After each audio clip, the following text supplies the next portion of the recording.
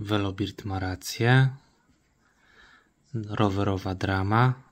Unbroken Reed podważa Veloberda. Co tu się dzieje? Więc elo, velo, rowerzyści i kolarze, to co dzisiaj wam opowiem, to dlaczego wolę bardziej napędy marki SRAM niż Shimano. Oczywiście, że niektóre aspekty, gdzie Shimano jest lepsze i o tym będę chciał wam dzisiaj też o, oczywiście opowiedzieć. I e, będę chciał zrobić taki test jak Unbroken Read, czyli użyć klucza dynamo, dynamometrycznego e, i zobaczyć jak funkcjonuje sprzęgło w nowym rowerze. E, myślę, że to będzie bardzo ciekawe. Jeżeli faktycznie Unbroken Read miał rację, to usunę film, który może wprowadzać w błąd niektóre osoby, ale też będę chciał już bardziej trochę merytorycznie przedstawić, jak to wyglądała u mnie sprawa z Shimano i dlaczego wolę napędy SRAMA. O, jakaś wstępu. Dobra, a tam akurat chciałem jechać rowerem, no a trudno się mówi, pojedzie się gdzieś indziej. Przypominam, że możecie mnie wesprzeć kupując coś na moim sklepie internetowym velobert.pl. U samej góry jest informacja, że jest kod rabatowy i od ilu złotych zaczyna się darmowa wysyłka, więc, więc nikogo nie zmuszam, ale jakby ktoś chciał, to oczywiście serdecznie zapraszam.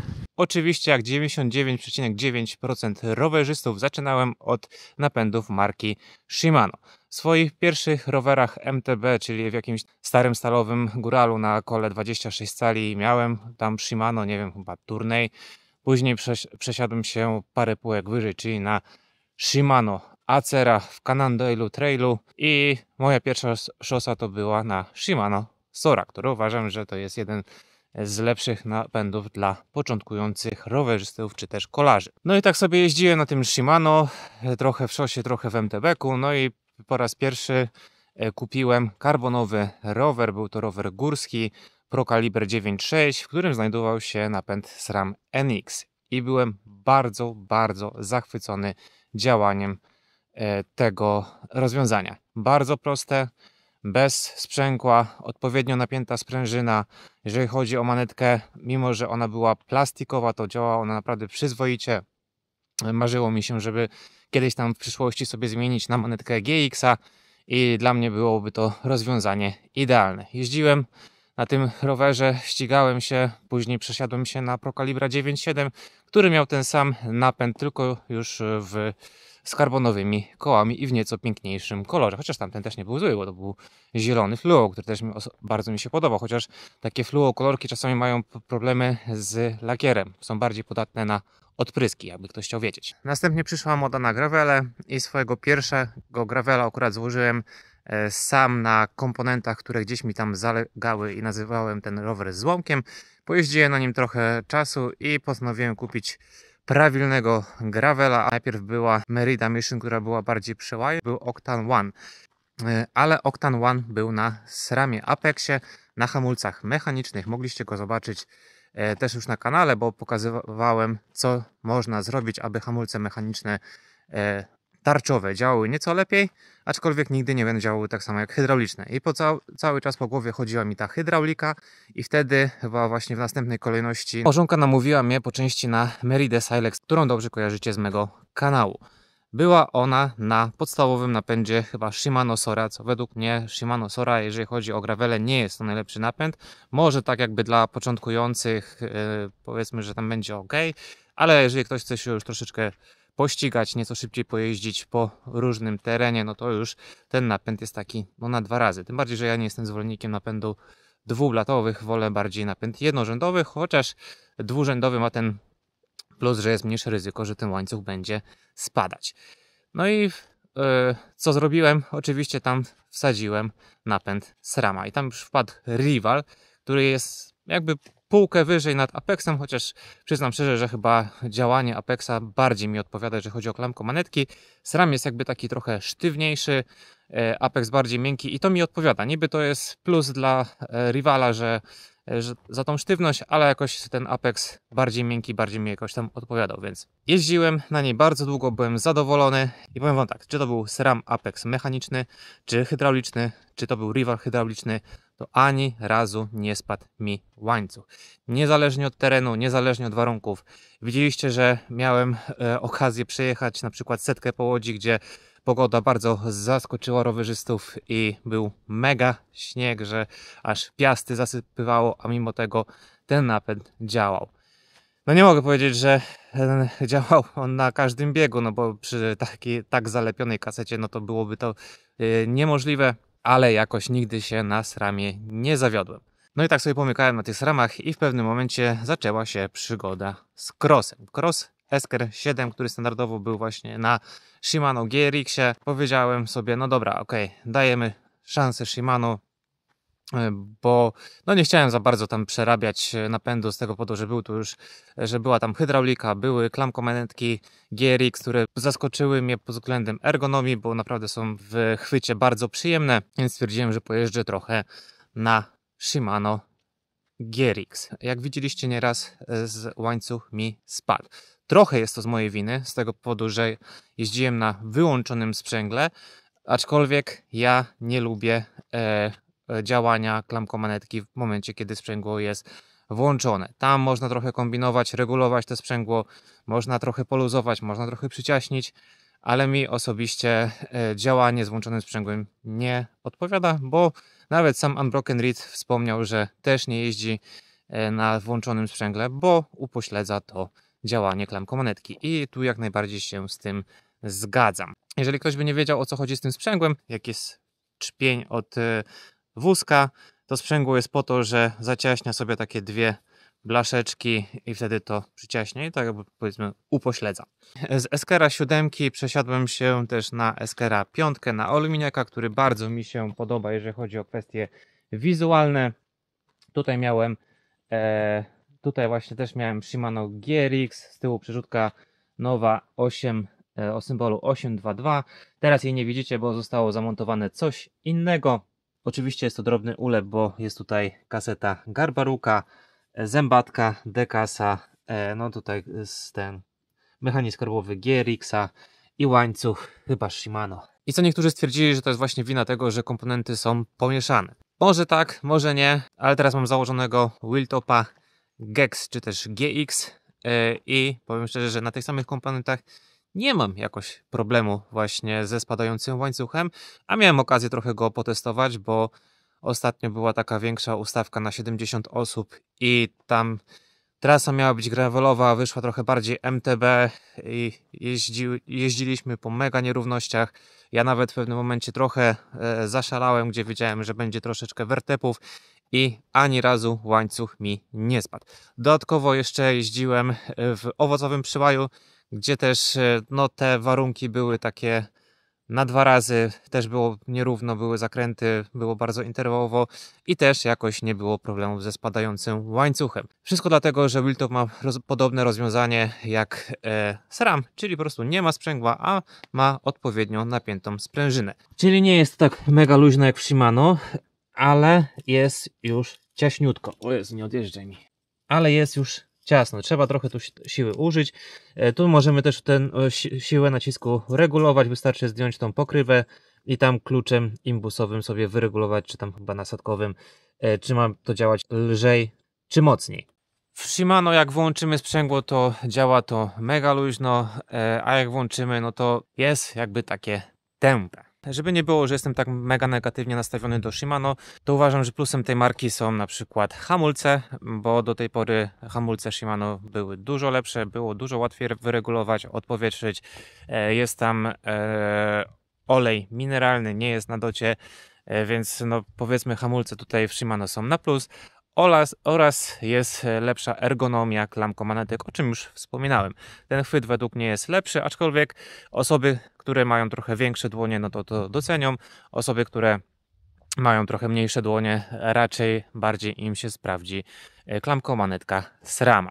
Minus według mnie chyba już nie muszę Wam przedstawiać, bo oczywiście jest to rozwiązanie ze sprzęgłem po prostu włączenie sprzęgła upośledza działanie klamkomanetki oraz precyzję zmiany biegów, bo to też jest tak czasami, że e, napęd jest dobrze wyregulowany, e, a w momencie, kiedy na przykład jesteśmy na górnych koronkach, e, no to wtedy tych większych koronkach, no wtedy ten napęd już nie działa tak idealnie, potrafi chwilę tam cykać, zanim się e, ten bieg zmieni. Ewentualnie trzeba troszeczkę ręką tam przytrzymać manetkę, aby faktycznie to wskoczyło.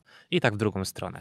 Przejdźmy teraz do plusów SRAMa. Oczywiście będzie to działanie przerzutki. Według mnie e, tutaj odpowiednio napięta sprężyna plus dobra regulacja e, to, że tak powiem, klucz do sukcesu, aby to działało wszystko idealnie i żeby nie było żadnych problemów. Trochę jest dziwne rozwiązanie klamką manetki, bo mamy tylko jedną dźwigienkę, tak jak w Shimano dwóch. Po prostu delikatnie naciskając rzucamy, a naciskając trochę mocniej podciągamy. Wiem, jest to dziwne, nie każdemu to może odpowiadać, ale e, mi nie robiło to najmniejszego problemu. I nawet jak jeździłem e, zamiennie Shimano SRAM, to nie było problemu, aby się przestawić. Kolejna rzecz to przycisk serwisowy, czyli po prostu yy, nie mamy sprzęgła, ale mamy taki przycisk, że jeżeli chcemy sobie zdjąć koło czy yy, rozpiąć łańcuch, to możemy yy, wózek czy też konik sobie zluzować i bez problemu i zrobić to, co nam odpowiada.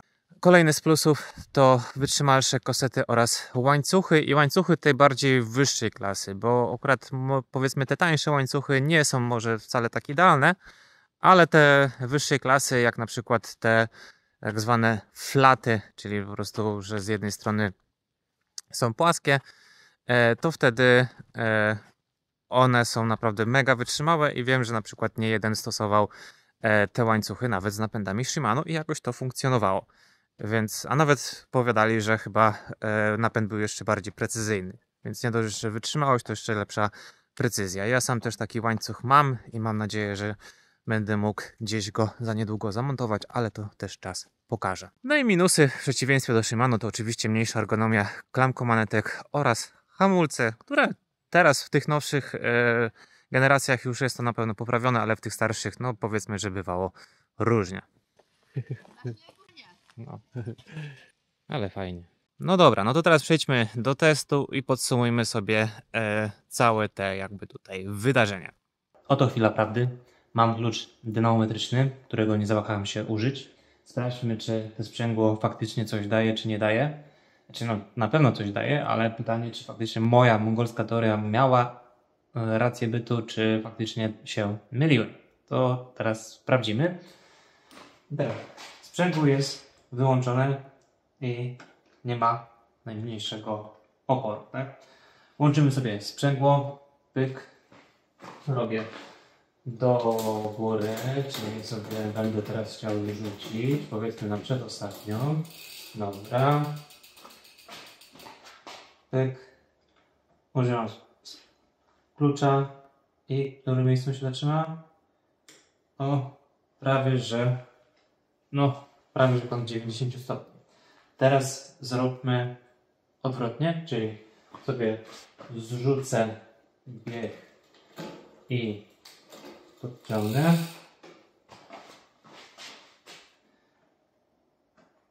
Wkładam klucz w tym samym miejscu, robię na dół i no chyba kąt ten sam. Jeszcze raz zróbmy do góry. Tak jakbym podjechał jakąś góreczkę i nagle musiał szybko zrzucać. Jeszcze raz. Za dużo zrzuciłem robimy na tym ostatnim. Dobra. Pyk, pyk, pyk. Dobra, przedostatni. Robimy tak. Naciskam. No, trochę głębiej weszło.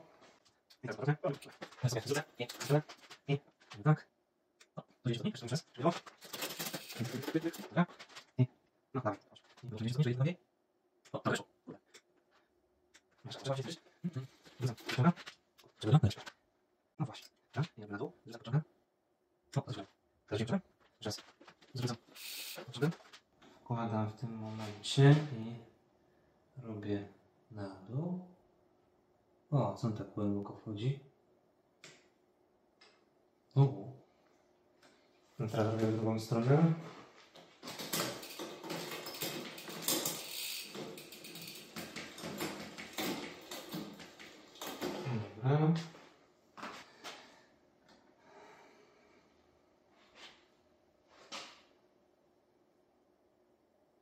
Jeszcze jest luźniej. O co tu kaman? Sprzęgło włączone? Włączone. Skąd to dociskane? Jest ok.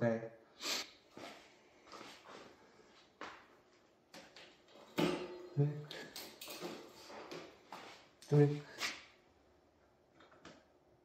Teraz powinna być opcja ciężejsza, ale...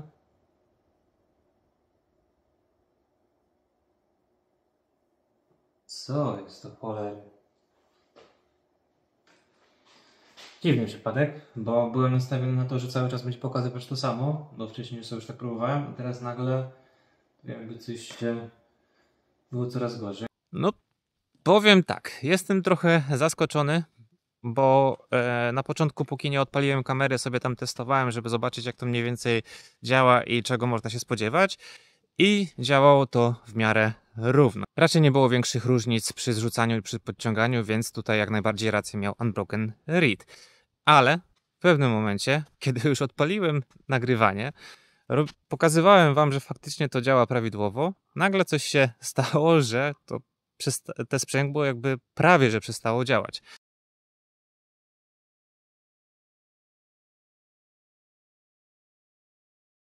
Nie wiem, co się podziało. Więc podsumowując, brak sprzęgła, brak problemu. Nadal jestem takiego samego zdania. Oczywiście film i tak usuwam, żeby nie było, żebym nie wprowadzał nikogo w błąd, e, bo faktycznie ja zawsze powtarzam, że ja nie jestem mechanikiem rowerowym. Czasami, jak mam coś ciekawego do przekazania, no to staram się tym podzielić, ale nie jestem e, takim znawcą jak na przykład Unbroken Read. Jedynie z mojej strony teraz mogę Wam obiecać, że postaram się już więcej e, jakichś tematów serwisowych za bardzo nie wrzucać, bo faktycznie nie jestem mechanikiem rowerowym. Może, jeżeli faktycznie będę pewny, pewien jakiegoś tematu, to się jego podejmę. Ewentualnie e, będę kontaktował się ze specjalistami, aby faktycznie nie wprowadzać później nikogo w błąd. Więc no, tyle mam do powiedzenia. E, trochę przepraszam za, za całą sytuację, bo faktycznie źle podszedłem do tematu. E, podszedłem za bardzo na, luź, na luzie, a wywołało to faktycznie troszeczkę kontrowersji. Na szczęście, że tak powiem, Shimano się do mnie nie odzywało i to nie usuwam ten film na prośbę Shimano, tylko po prostu sam siebie, po prostu, e, bo nie chcę nikogo faktycznie wprowadzać w błąd. Mówię, każde rozwiązanie SRAM Shimano ma swoje plusy i minusy i myślę, że każdy znajdzie coś dla siebie. Ja wolę e, naprawdę SRAMa i w przyszłym sezonie prawdopodobnie będę jeździł na SRAMie. Wheeltopa sobie zostawiam tutaj w tej pomarańczy. A co będzie w następnym tym sezonie, to zobaczymy za niedługo, bo już małymi kroczkami się zbliża nowy rok. Dobra, to tyle. Się chciałem z wami podzielić. Więc co? Do zobaczenia w następnym odcinku. Trzymajcie się. Piąteczka.